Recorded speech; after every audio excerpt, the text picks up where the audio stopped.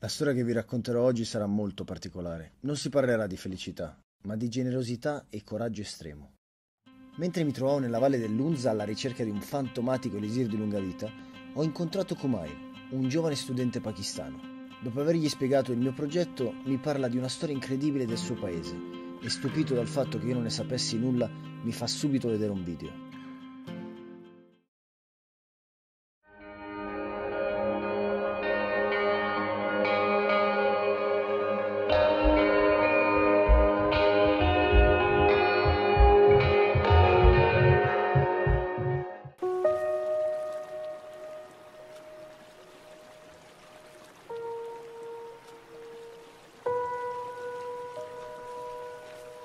एजाज देखो रामी पीछे से जाओ रामी जाओ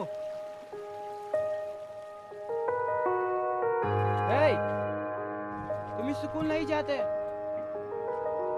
तुम्हें सुनाई नहीं देता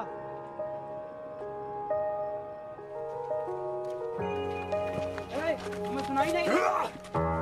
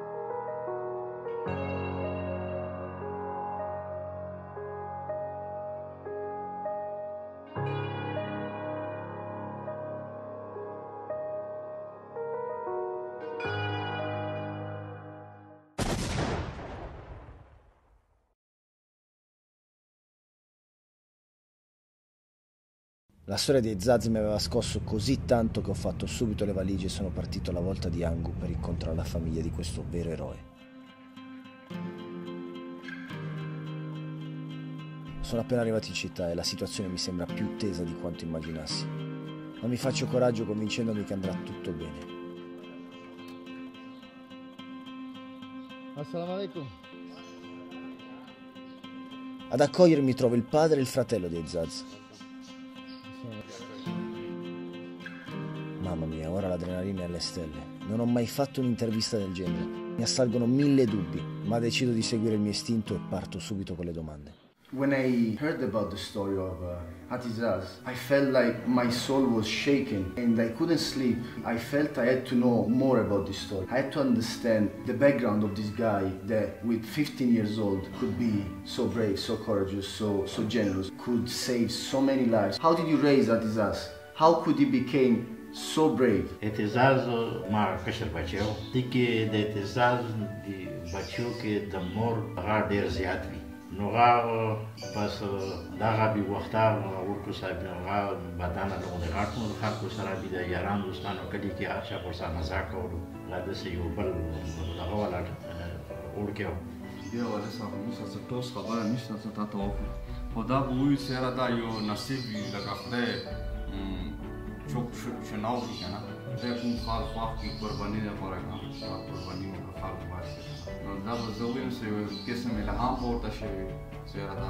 قرباني وکړم او باقي سوساید سوساید د مخ ته تل ډیر زیات ناممکنه دي کنه او هغه دا شی وکړو और तरबियत ना خصوصا نشي لازم څنګه تربیت کور کې مونږ عامل کخه کور دې مونږ پورا غلي کې مونږ خاندان یې دی ټول پاکستان خاندان دې اوس خدای سره پورا پاکستان کې پورا بہادر ترین فیملی مونږ ډیکلیئر شي نو نارمل لکه څنګه کور کې ورکه کټه کېږي داسې Did you speak about terrorism in the family? کله چې تمنا وشوه مو انګو کې یا پېښور کې کوهار دا په مسا نږدې نو کله تمنا وشوه نو هغه کور کې ډسکشن چې تمنا وشي یا سړی مزاحمت کوي او فیملی کې بنده دا کی ته راکنه نو اعتزاز ودا بار بار ویلو چې را داسې څه نشته چې دا سړی پېښان وشي کنه نو هر کور کې ټیرریزم باندې خبرې کیږي او بل دا مو انګو کومه ضلع دا 2006 نه د ټیرریزم شکار شوی کیږي کنه د ځکه ډیر زیات فسادات شوي ډیر زیات جنگونه شوي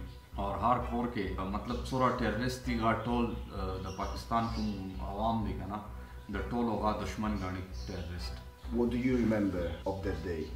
مو ولادت سره په بار د وای کې اور زه په کلی کې هم په دې سره جنوري میاشت کې جنوري کې ډېر سړی اعتزاز بیگ پستا یو په سکول یونیفارم کې موږ خپله کې کراس وشو زه کمرې ته نه ننوتم بس سکول ته رفتګ لپاره یو پنج منټ یا چھ منټ بعد بلاست وشو زه کور کې هم والد صاحب دبۍ کې What did you think when you hear the blast?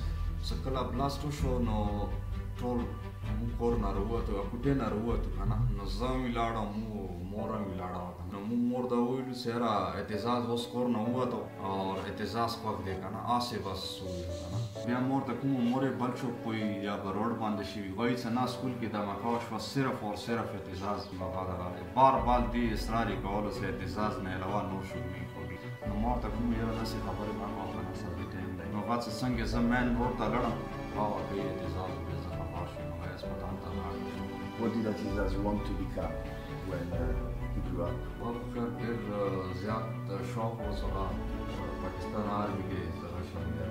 Ar vakte ya bo, çünkü bu o laka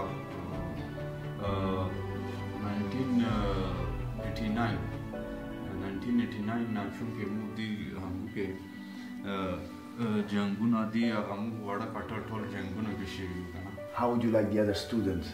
We remember Atizas. تزاز اوس مس کوي که نه لکه د تزاز یو داسې میسج پورا پاکستان ته پورا علاقې ته ورکړو څو اوس هر یو سکول ماشوم بچی یې چېره مو اعتزاز غوندې قرباني کوو که نه څه هم باندې راغله Which is the teaching that you think Atizaz left to, to our world? دا مسیج هم ورکو اعتزاز خلکو ته مطلب څه خطا واقعیا چې راشي وي دا بلاس شي وي نو نن په مو هار یو کډی کې به یو کور کې به شهید وو یعنی ټول کې غاټ میسج دا ورکو څه د کلم تقدس خیال یو ساتل یعنی تعلیم باج کو تعلیم نه علاوه زندگیان باج کې ډېر زیات ضروری تعلیم هم دی او زندگیان هم دی نو دا ټول پاکستان خلکو لپاره د اعتزاز قرباني ډېر انبلیوبل دی کنه اور خو زه یو خبره لږه زیاته کوم ایکسترا کنه تاسو دا خو یې شته چې موږ سره سکول ته لاړ شو د اعتزاز او سکول ورو دغه په نوم باندې دی اځه باندې تاسو ته واخلم چې کوم دی بلاست شو ټول سټوري چې کومه یې را سو ماته را تاسو ته به مو کاو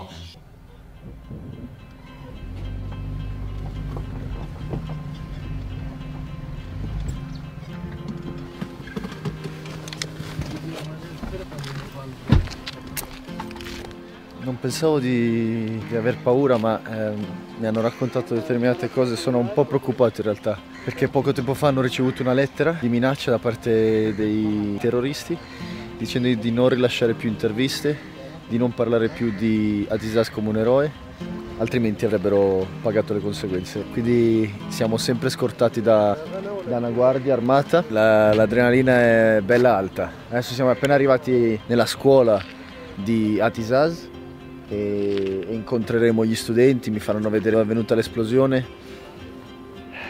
Ah, What do you say? Uh, he said this is a security risk uh, everywhere. We must check uh, before where we want, where we go. So this is uh, so important. We must check the security situation outside. Then we will go outside. So we have to wait, and while and when they said it's it's safe, we can go out. Yes, he said Yeah, everything is clear. You can go now. Much In Pakistan, this is more dangerous district, Hangu.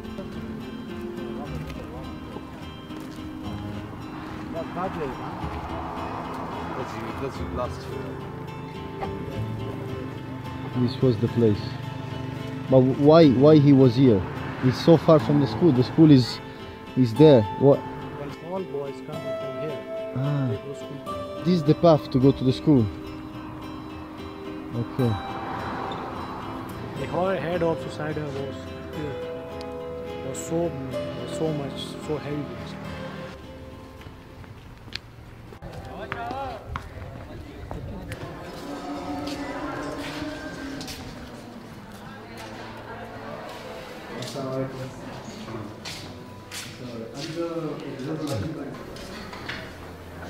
ممكن نفخر او سلام سکول او سټوډنټ او د शिकायतम کار نمبر دیگه څنګه پاتې کیږي موږ بالکل وظیفه کارنامه وکړ دعوت تجریش کې ناقابل فراموش واقع ان شاء الله بنسلم چوب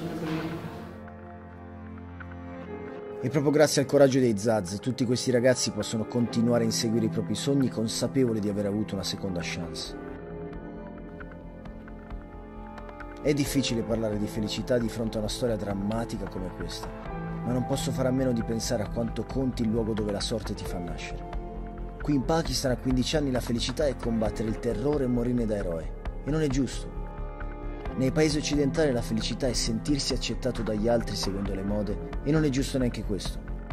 Noi però abbiamo la fortuna di poter scegliere le nostre priorità e determinare chi siamo e chi saremo come vogliamo essere ricordati quando non ci saremo più.